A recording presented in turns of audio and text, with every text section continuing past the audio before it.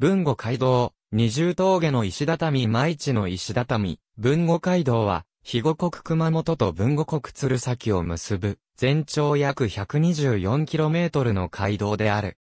江戸時代に、加藤清正によって開かれ、熊本藩や岡藩の参勤交代に用いられた。大分川から見ると、肥後国に向かう街道であることから、肥後街道とも呼ばれる。さらに、文後王冠、肥後王冠と呼ばれることもある。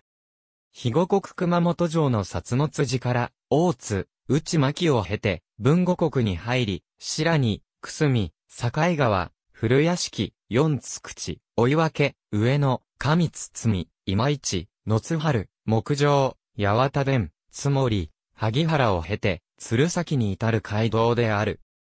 加藤清正が、天正16年に初めて、肥後国に入国した際に通った道とされ、後に、清正によって拡張され、肥後国と文後国との間の主要な街道となった。江戸時代には、文後国の内文後街道沿いのくすみ、野津春、鶴崎が、熊本藩の飛び地となり、熊本藩の参勤交代は、文後街道を通って、陸路で、九州を横断した後、鶴崎の港から海路で、瀬戸内海を通って、大阪に至り、東海道を江戸に向かっていた。これは、当時、大阪、江戸への最短経路であった。熊本から鶴崎までは4泊5日を要し、大津、内巻、くすみ、野津春の4つの宿場が整備された。後に、これらの間の魚市、今市等にも宿場が設けられた。また、岡藩は、城下町である竹田から、七里、植木、小高屋を経て四口で、文後街道に入り、萩原から今津止めの船着き場に向かった。この童貞には二日を要した。小高屋からは新屋敷を経て、追い分けで、文後街道に入るルートが取られることもあった。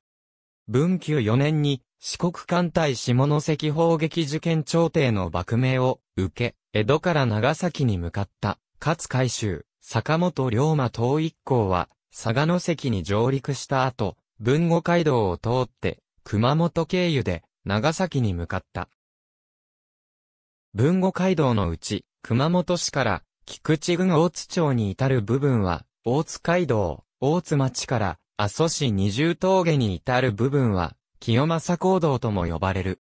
経路は、現在の国道57号、熊本県道337号熊本菊陽線、熊本県道339号北帰り山、大津線、熊本県道110号阿蘇一宮線、熊本県道、大分県道131号、笹倉九十線、大分県道412号九十高原の津春線、国道442号等にほぼ沿っている。ところどころに、石畳や杉並木などが残されており、熊本県内の5カ所が国の史跡に指定されている。また、二重の峠車帰り、滝、室坂、大理山が、平井市の石畳の4カ所が、文後、肥後街道鶴崎路として、歴史の道百選に選定されている。ありがとうございます。